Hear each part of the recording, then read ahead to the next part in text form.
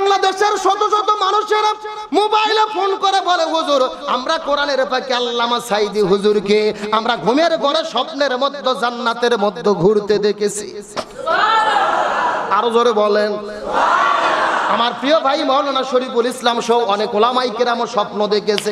কেউ বা স্বপ্নের কথা বলেছে, কেউ বা বলে নাই। আমি যে বিষয়টা পরিষ্কার করে বলতে চাই, স্বপ্নের মধ্যে দেখলেই জান্নাত পাবে, না দেখলে পাবে না বিষয়টা এমন না। তবে একটা কথা বোঝার চেষ্টা করবেন, যে যাকে বেশি ভালোবাসে, বেশি স্মরণ করে, তাকেই কিন্তু স্বপ্নের মধ্যে সে দেখতে পারে। আমাদের গ্রামের অনেক মানুষ মারা গেছে গত দুই বছরে। কিন্তু আমার একটা ভাই ছিল, আমার ফুফতো ভাই শহীদুল ইসলাম, যার নাম আমি মাঝে মধ্যেই তাকে ঘুমের ঘরে স্বপ্নের ভেতরে দেখি। আমার অনেক আত্মীয় মারা গেছে, তাদেরকে দেখি না। অথচ আমার সেই ফুফতো ভাই শহীদুল ইসলামকে বারবার দেখি। আমি গবেষণা করে দেখেছি, আমি তাকে বেশি ভালোবাসতাম, আমার সঙ্গে বেশি মেলামেশা ছিল। তার মানে বোঝা যায়, যার সঙ্গে যার মোহাব্বত হয়, যে যাকে বেশি ভালোবাসে, সে তার স্বপ্নের মধ্যে যেতে পারে। কি পারে না। কথাগুলো সুন্দর করে বোঝার চেষ্টা করবে। স্বপ্নের ব্যাখ্যা দিয়ে কোরআনের পাখি আল্লামা সাইদি জান্নাতে যাবে। এটা আমাদের বলার দরকার নাই, বিশ্বাস করার দরকার নাই। কোরআনের পাখি আল্লামা সাইদি যে জান্নাতে যাবে, এটা তার মৃত্যুর ভেতরেই তিনটা আলামত পাওয়া গেছে। কয়টা আলামতের কথা বললাম? আমি হাদিস থেকে গবেষণা করে আপনাদেরকে বলতেছি, বোঝার চেষ্টা করবে। ওই কোরআনের বাকি জান্নাতের মেহমান হবে, জান্নাতে ঘোরাফেরা করবে। তার মধ্যে তিনটা মৃত্যুর সময় আলামত পাওয়া গেছে। তার মধ্যে প্রথম নম্বর আলামত হলেন, ওই কোরআনের পাখি যখন পৃথিবী থেকে বিদায় নিয়ে চলে যাবেন মৃত্যুর সময়ে তার মুখের মধ্যে কোনো টেনশন নাই, কোনো ভয় নাই। জান্নাতি মানুষের মতো হাসতে হাসতে বিদায় নিয়ে চলে গেছে। আর ভাই, আগের দিনে যখন হসপিটালে ভর্তি করা হয়েছে, পুরো মিডিয়ার মধ্যে সোশ্যাল মিডিয়ার মধ্যে ফেসবুক ইন্টারনেটের মধ্যে আপনারা হাসি দেখেছেন। যেই হাসিটা দেখার পর ইমানদার ব্যক্তিদের কলিজাটা শান্তি হয়ে গেছে। সবাই ভেবেছিল, ওই কোরআনের পাখি আবার মনে হয় ফিরে আসবে। কোরআনের ময়দানে আবার কথা বলবে। ওই যে হাসিটা দিয়ে তিনি হসপিটালে ভর্তি হলেন। একটা ওই জাগার নার্স বলেছে, হুজুরকে যখন ইনজেকশন করা হলো ডক্টর মোস্তফা জামান যখন ইনজেকশন করেছেন, হুজুর পরিপূর্ণ সুস্থ অবস্থায় ছিল। ইনজেকশন করার পরে তিনি হাসতে হাসতে পৃথিবী থেকে বিদায় নিয়ে চলে গেছে। শরীফের মধ্যে আসছে বুখারী, মুসলিম শরীফের ভিতরে। ইমানদার ব্যক্তিরা যখন বিদায় নিয়ে চলে যায়, ইমানদার ব্যক্তিরা যখন পৃথিবী থেকে বিদায় নিয়ে চলে যাবে, ওই মালাকুল মৌত হযরতে আদরাইল আলাইহিস সালাম, ইমানদার ব্যক্তিদের সামনে জান্নাতের একটা ছবি দেখাতে থাকে। ওই জান্নাতের ছবিটা দেখার পরে ইমানদার ব্যক্তিরা খুশিতে মাতোয়ারা হয়ে যায়। ওই জান্নাতের ছবিটা দেখার পরে আস্তে আস্তে পৃথিবী থেকে বিদায় নিয়ে চলে যায় বলেন, সুবহানাল্লাহ। এই জন্য ইমানদার ব্যক্তির মৃত্যুর, জান্নাতি ব্যক্তির মৃত্যুর এক নম্বর আলামত হলো, এরা কিন্তু হাসতে হাসতে বিদায় নিয়ে চলে যাবে। আমাদের গ্রাম এলাকার মধ্যে এমনও মানুষ দেখা যায়, মৃত্যু যখন চলে আসে, অনেকে কান্নাকাটি করা শুরু করতে থাকে, অনেকে পাগল হয় চোখগুলো উল্টায় ওঠে, অনেকে কষ্টের ঠেলার ভেতরে পোষা পায়খানা পর্যন্ত করে আমার ঘটনা ঘটে কি ঘটে না? তার ব্যাখ্যা হাদিস শরীফের মধ্যে এসেছে। যখন এই পৃথিবীর মধ্য থেকে জালেম ব্যক্তিরা বিদায় না চলে যায়, বেঈমান জাহান্নামী ব্যক্তিদের যখন মৃত্যু হয়, তখন ওই ফেরেশতা যখন তার জান কবজ করবে, তার সামনে একটা জাহান্নামের ছবি দেখাতে থাকে। ওই জাহান্নামের দৃশ্যটা দেখার পরে ও কান্না করতে থাকে, আর পৃথিবী থেকে যাইতে চায় না। ওই লোকটা পাগলের মতো ছোটাছুটি করতে থাকে, ওই লোকটা বাঁচাও বাঁচাও বাঁচাও, আমি যাব না। এই কথা বলার চেষ্টা করে, কথা বলতে পারে না, ভয়ে চোখগুলো উল্টায় ওঠে। কেউ বা পোশাক পায়খানা পর্যন্ত করতে করে ফেলে দেয়। এখান থেকে বোঝা যায়, হাসতে হাসতে বিদায় নিয়ে চলে যাওয়া, এটাই হলো জান্নাতি মেহমান হওয়ার আলাম কয়টা আলামতের কথা বললাম? এক নম্বর, কোরআনের পাখি হাসতে হাসতে পৃথিবী থেকে বিদায় চলে গেছে। দুই নম্বর আলামত হলো রসুল বলে একজন মানুষ যখন পৃথিবী থেকে বিদায় নিয়ে চলে যাবে, তার জানাজার মধ্যে যদি লক্ষ লক্ষ মানুষ উপস্থিত হয়, এই লক্ষ লক্ষ মানুষেরা যদি চোখের পানি ফেলে দোয়া করে, তাহলে মনে করবা এই মানুষটার মৃত্যু হলো জান্নাতি মৃত্যুর আলাম লক্ষ লক্ষ মানুষের ভেতরে আল্লাহ কার না জানি দোয়াটা কবুল করে নেবে, কার দোয়ার ওসিলাই আল্লাহ তালা তাকে মাফ করে দেবে, কার দোয়ার ওসিলাই আল্লাহ তালা তাকে জান্নাতি বলে কবুল করে নেবে। ওই কোরআনের বাকিটা বিদায় নেওয়ার পর ঢাকায় যার বাড়ি রয়েছে, দুইবারের যিনি সংসদ সদস্য, তার পরিবারের সদস্যরা চাচ্ছিল তার জানাজাটা ঢাকায় হবে। ঢাকায় জানাজাটা করতে দিল না। রাত্রিবেলায় যখন লাশটা বুঝে দিল, প্রশাসন তার লাশটাকে নিয়ে টানা হ্যাঁচড়া শুরু করল। তার লাশটাকে নিয়ে রাতের বেলায় গিয়ে তারা কবর দিয়ে দেবে। মানুষকে জানাজার নামাজ পড়তে দেবে না, ষড়যন্ত্র শুরু হয়ে গেল। হাজার হাজার মানুষের অ্যাম্বুলেন্সের সামনে শুয়ে পড়ে। আমরা কোরআনের পাখিকে যেতে দেব না। জানাজা না করে তার লাশটাকে নিয়ে যাওয়া যাবে না। এইভাবে চলতে চলতে ফজরের আজান হয়ে গেল।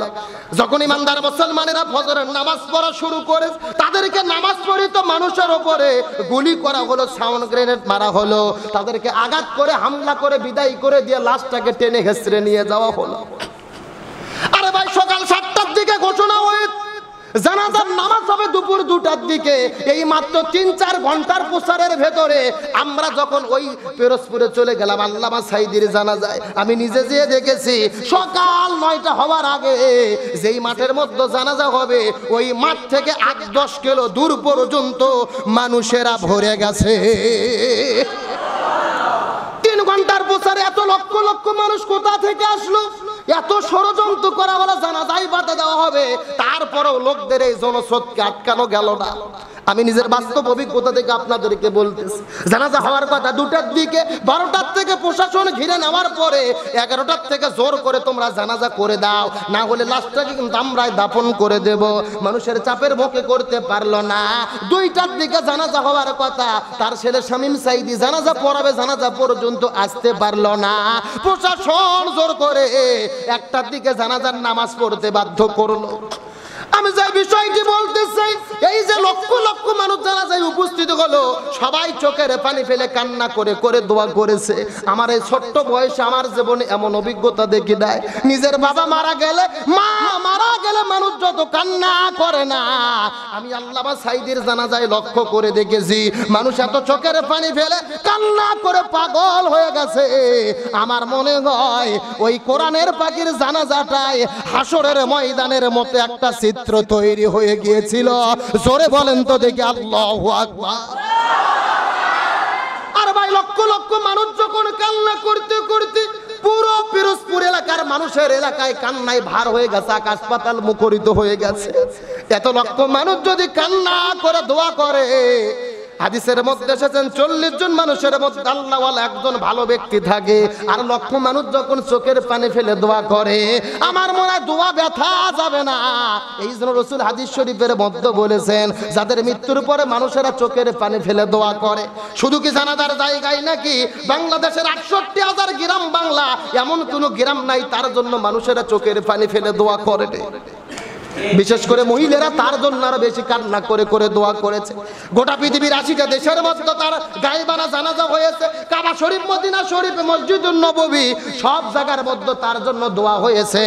এইগুলোর দ্বারাও বোঝা যায়, এটা তার দুই নম্বর আলামত। গোটা পৃথিবীর মানুষেরা চোখের পানি ফেলে দোয়া করেছে। এটাও হলো তার জন্য জান্নাতে যাওয়ার দুই নম্বর আলামত।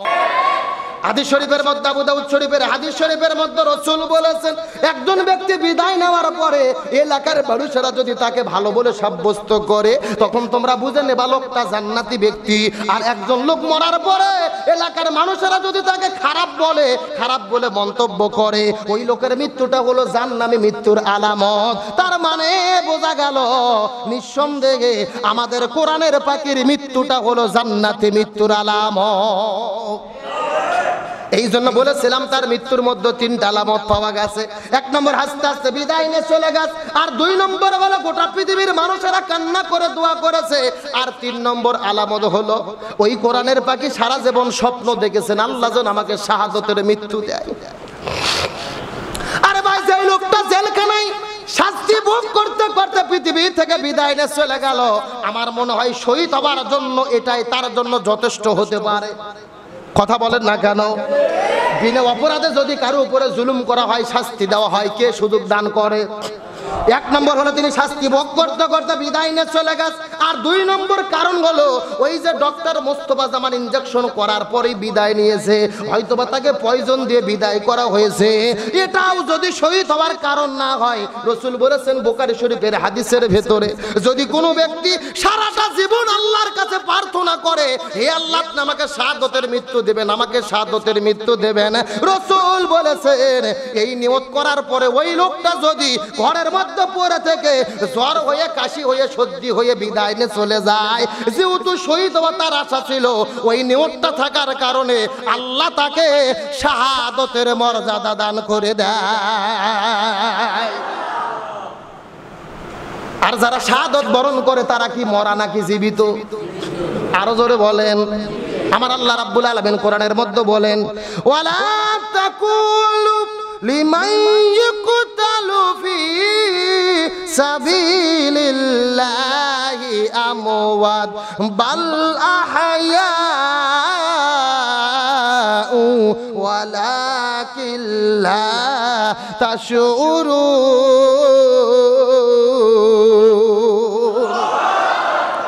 আল্লাহ বলেন, যারা দিনের জন্য ইসলামের জন্য জীবন দেয় এদেরকে তোমরা মৃত বলো না। বরং তারা জীবিত। কবরের মধ্যে শুয়ে শুয়ে জান্নাতি খাবার পায়। সেখান থেকে তারা সালাত আর জিকির আদায় করতে থাকে। হাদিস শরীফের মধ্যে এসেছেন, ইমানদার ব্যক্তি বিদায় নিলে তাদের তিনটা প্রশ্ন করা হয়, যদি উত্তর দিতে পারে। আল্লাহ বলে, জান্নাত থেকে একটা দরজা বের করে তার কবরের মধ্যে প্রবাহিত করে দাও বলেন সোভানাল্লাহ সেখানে তারা কিয়ামত পর্যন্ত জান্নাতে থাকবে। অনেক ইসলাম বিদ্বেষীরা বলে যে আল্লামা সাইদি জান্নাতে গেছে, জান্নাত কেমনে পাইলো? হাসরি তো হলো না বিচারি হলো না। জান্নাত জান্নাম তো বহু দূরে, তারা হাজির জানে না। হাসর নাসর হবার দরকার নেই। ইমানদার ব্যক্তি কবরে তিনটা প্রশ্নের উত্তর দেওয়ার সাথে সাথে ওই কবরটাকে আল্লাহ জান্নাত বানায়া দেয়। তাহলে ইমানদার ব্যক্তিরা মৃত্যুর পরে জান্নাতের সুঘ্রাণ পায় কি পায় না? সুতরাং ওই কোরআনের পাখি জান্নাত আছে, এটা আমাদের ইমান এটা আমাদের আকীদা। ওই কোরআনের পাখি আল্লামা সাইদির সঙ্গে আবার আমাদের জান্নাতে দেখা হবে, ইনশা আমরা আবারও তার কোরআনের কণ্ঠে, মধুর কণ্ঠে কোরআনের তাফসির শুনব, ইনশা